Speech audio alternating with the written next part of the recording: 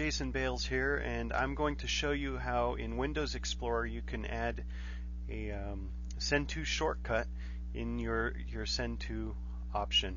Whenever you uh, right-click on a file in Windows Explorer, you have all these things over here you can do with the file.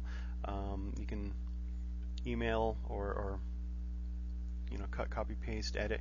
Um, and down here we have the send to and you can send to all sorts of different things. You probably don't have as many on your send to as I do.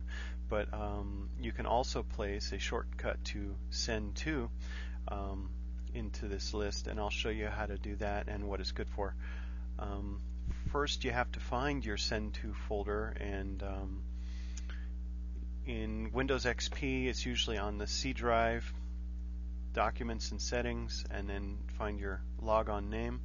Um, you might not see it within that directory um, because it's usually invisible, but you can go ahead and navigate to it anyway.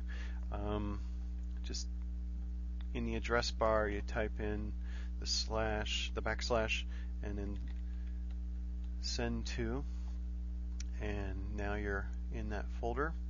Um, just go ahead and drag this this little icon down here into the folder and now you have a shortcut for send to in the send to folder.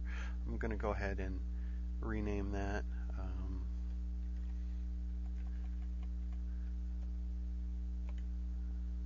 send to. Um, and now what is that good for?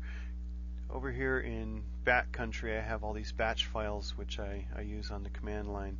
Um, I'm going to find one. Let's uh, find it. Here we go. Um, Eraserhead, and this uh, securely erases just about anything, even viruses.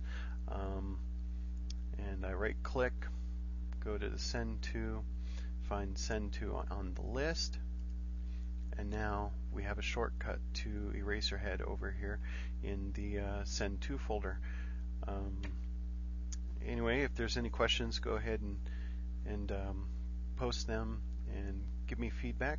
And